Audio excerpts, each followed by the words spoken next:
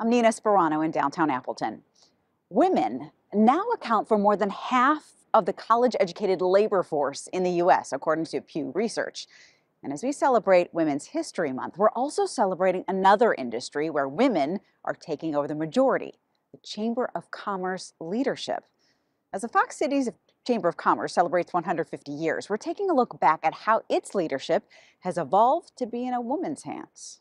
I truly believe that chamber work is really mission work. 150 years ago, 21 men came together to form the Appleton Chamber of Commerce. This organization has survived the Great Depression, World Wars. So, from everything from the 441 construction to moving ATW to Greenville, as well as being involved in the creation of the Expo Center.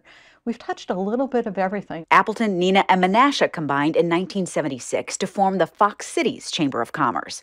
Today, Becky Bartosik is president and CEO. It's really where we bring our community together.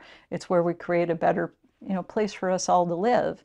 And it's where we advocate a lot of times for somebody that doesn't have a voice, which is the small business community.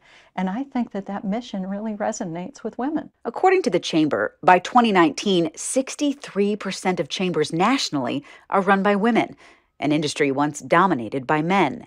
Jody Federwitz, the director of the Pulse Young Professionals Network, knows the impact women leaders are having on the community. We're starting to really see a lot of our young women take advantage of professional development opportunities. We have CEOs that are women, and we have that on purpose because we want young professionals to see you could be a CEO, you could be a CFO, you can do whatever you want to and whatever you set out to do. For 150 years, the Chamber has watched the Fox cities evolve and has brought the community together to make the Fox Cities a better place.